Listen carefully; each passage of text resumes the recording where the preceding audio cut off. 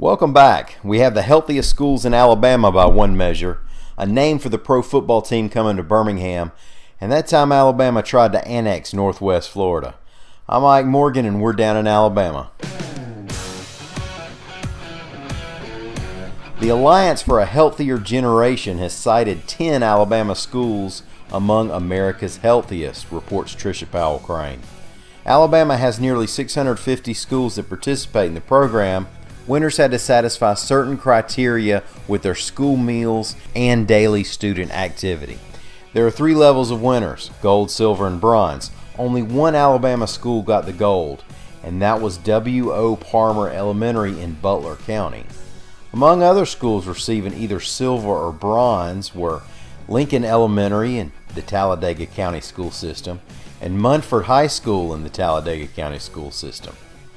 Bluff Park Elementary, Hoover City Schools, Deer Valley Elementary, Hoover City Schools, Greystone Elementary, Hoover City Schools, Gwin Elementary, Hoover City Schools, Riverchase Elementary, Hoover City Schools, Rocky Ridge Elementary, Hoover City Schools, and Spain Park High, Hoover City Schools. I'm hearing there's a chance we've picked out a pattern. We'll get back with you on that. Birmingham's pro football team the one that's going to play in the Alliance of American Football begins play on February 9th, which is smartly after the college football playoffs and National Signing Day.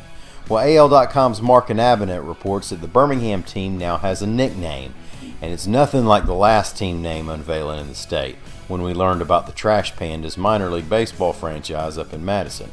This team will be known as the Birmingham Iron. That's obviously a hat tip to the Magic City's history as an iron and steel town. Said Iron coach Tim Lewis, This great city of Birmingham is tough, hardworking, passionate, dependable. All attributes that our team will uphold both on and off the field. The iron concept shows up in the team logo and uniform colors, which will be black, gray, and silver. We mentioned earlier that summer wasn't finished yet. Well, on Thursday, Muscle Shoals registered its hottest temperature of 2018 so far, with the mercury rising to 100 degrees even. And it got close to that down in Tuscaloosa, hitting 98 degrees.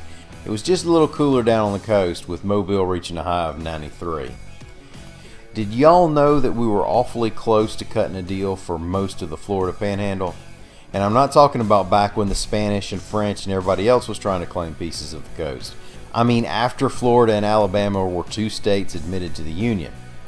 Well, for a fuller explanation, here's expert explainer Jonathan Soboleski. Even when it was still Spanish land, folks in Alabama and the Florida Panhandle had called for the Panhandle to be annexed by Alabama. A lot of settlers in the Panhandle were from Alabama families, and swampy terrain and forest made traveling from the Panhandle to the rest of Florida a real slog, while the only thing separating the Panhandle from Alabama were some small rivers and invisible lines. So Alabama was eager to bring their Panhandle brothers back to the fold, and if the state ended up with the lucrative harbor in Pensacola, well, it's not so bad either. And in the aftermath of the Civil War, it looked like it was finally going to happen. In 1868, an agreement was reached between Florida and Alabama to sell the Panhandle to Alabama for $1 million. But as you can guess, if you've seen a map, something didn't work out. Turns out a commission was formed to figure out the nitty gritty of the annexation, and those guys apparently started living high on the hog off taxpayer money. I can't say exactly how much they spent, but I can say when Alabama lawmakers found out about the commission's quote extravagant expense account, support for the deal fell through and it never happened.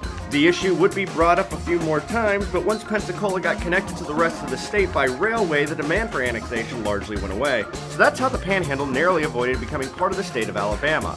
A handful of corrupt politicians ruined it for everyone. The more things change, the more they stay the same. I'm Jonathan Soboleski for Reckon. Thanks, Sobo.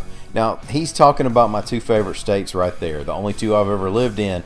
But I'll tell you, I'm not sure the world's ready for us to combine Florida man an Alabama man just yet. I mean, it'll get there, but it ain't ready yet. Thank y'all for listening. Have an outstanding weekend, and remember, you have a standing invite to come see us anytime you want to at AL.com.